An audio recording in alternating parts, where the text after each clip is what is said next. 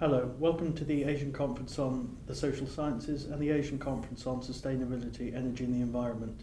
My name is Joseph Haldane and I'm the Executive Director of IAFOR, the International Academic Forum, the organising body behind these conferences. Today I'm joined by Mr Lowell Sheppard, who's the Asia Pacific Director of the HOPE International Development Agency.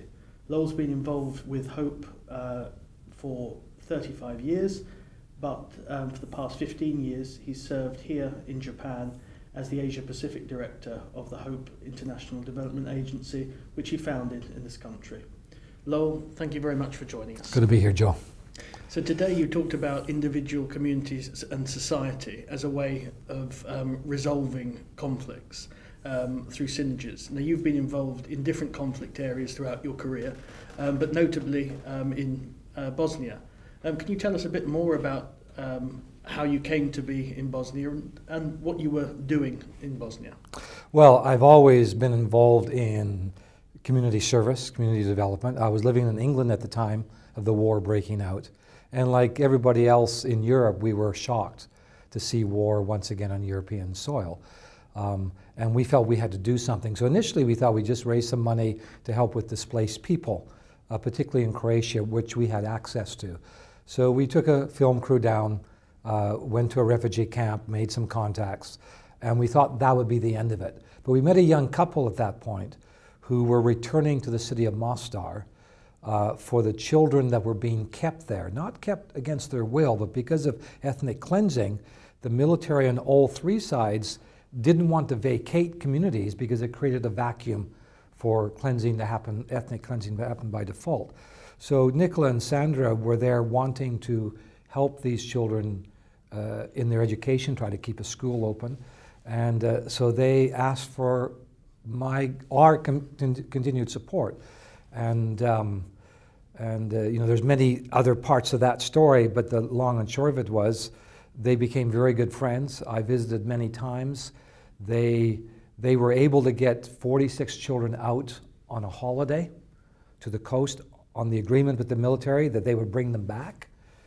When they were just about to go back into Mostar, they phoned me up in England and they said, Lowell, we've got you permission for you to come in with us with a film crew, the first time in six months that any, and we weren't journalists, but there were no journalists for months in, in Mostar. So I remember flying down, boarding the bus up in Crikvenica in the North Croatian coast, uh, driving all the way back to Mostar took many, many hours. And as we uh, started to descend down to the Neretva Valley, suddenly heavy artillery fired just above us, not at us. I hit the deck. I mean, I was just panic stricken, thinking we were being shot at. The kids applauded, saying, Oh, they're welcoming us home, which they weren't. They were actually lobbing shells over, trying to hit the bridge, the Stari Most, in fact. But to them, that was a sound of home. And, and it was home to them and they were back home. So again, they were not coming against their will. And just such an emotional bond was made. We, what had happened, if I could just say this, Joe, we, uh, a, a couple weeks before, we had been talking with Simon Hughes MP and a, and a mutual liberal friend, Democrat. Liberal, liberal Democrat. What would it take to stop the war in Sarajevo? Uh, Sarajevo was the focus. And Simon says, we should just get a million people and march in. We were kind of fresh off of Manila and the people power revolution there. Uh, and uh, it was a nonsensical idea, uh, but it made us all think. And I went home and I said to my wife, you know, what, what if an opportunity presented for myself to actually go into the war zone? What would I do? Um, and concluded with my wife that if our town was under siege, and I was able to get a friend in from outside to, to take news back out and help us. And that friend didn't come, I'd be pretty ticked off. So you, so you felt a moral. I felt a moral responsibility. responsibility. And then this, then this opportunity came. So it wasn't out of a sense of adventure, heroism. I mean, I, I was scared. And so, so, so that, that touches on something quite interesting when, when we talk about charity work, because um, charity work can be dangerous and it can involve often going into um, areas where sometimes it's uncomfortable, but often where, in, in this case, where, where lives are at risk. Um, one of the things that um, I'd like to touch upon is how a charity worker or a soldier, for example, deals with being in proximity but doesn't have the ability to help in the way they might like to or, or find an immediate resolution.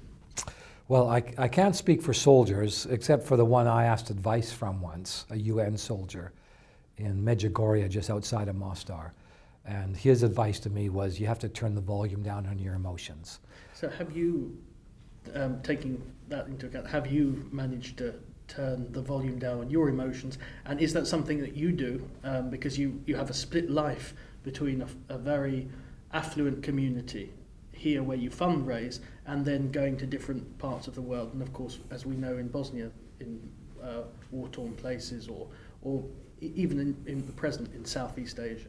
Well, it, it, it kind of makes sense. You know, you have to be professional, you have to remain rational, but being rational, being emotional are not, it's not contradictory. The emotion can inform our, our cognitive processes.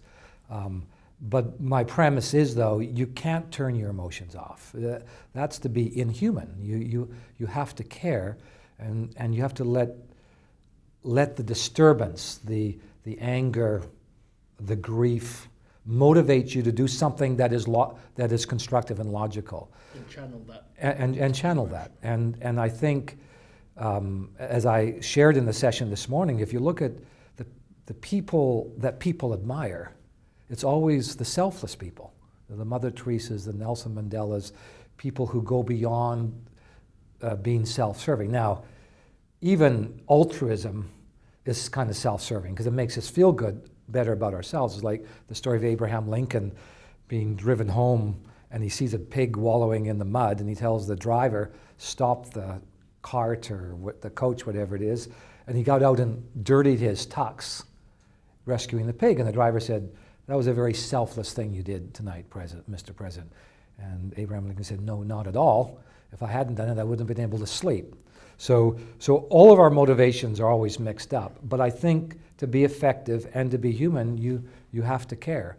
Uh, I also understand the logic that you can't be standing there crying all the time. You've got to toughen up and you, you've got to and discern find and find ways to help.